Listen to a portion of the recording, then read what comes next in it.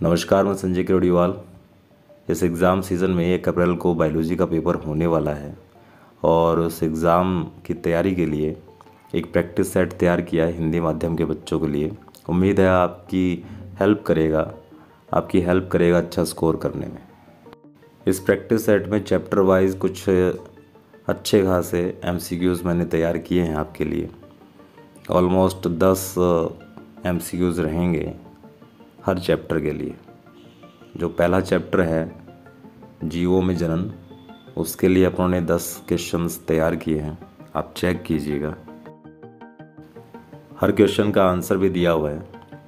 और, ये वो क्वेश्चंस हैं जो बार बार किसी न किसी एग्ज़ाम में पूछे गए हैं। बार बार रिपीट हुए हैं। या यूँ कह सकते हैं कि चैप्टर वाइज ये वो क्वेश्चंस हैं जिनको अगर आप एक बार रिवाइज कर लेते हैं प्रैक्टिस निकाल लेते हैं तो आप अच्छा खासा स्कोर कर पाएँगे।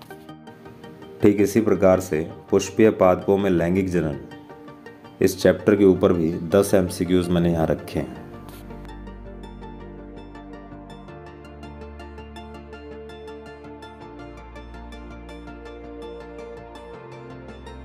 फिर भी किसी क्वेश्चन में आपको डाउट हो या दो ऑप्शंस आपको कंफ्यूज कर रहे हैं तो आप मेरे को कमेंट बॉक्स में कमेंट करके पूछ सकते हैं।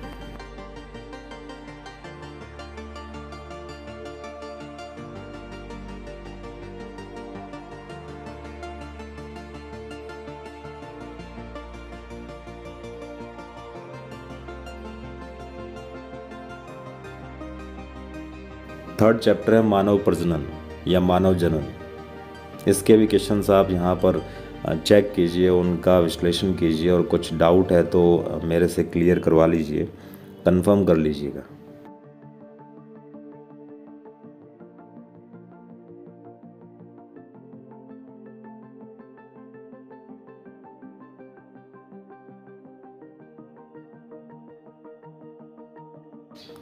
नेक्स्ट चैप्टर है जनन स्वास्थ्य। इसके भी क्वेश्चंस मैंने यहाँ रखे हैं। दस क्वेश्चन हैं, दस एम हैं। उन्हें भी आप प्रैक्टिस कर लीजिएगा।